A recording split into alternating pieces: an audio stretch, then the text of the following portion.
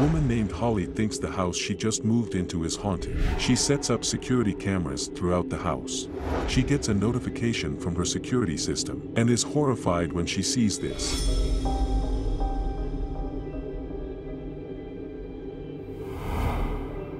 The chair begins rocking by itself. What would you do? Would you stay or move out?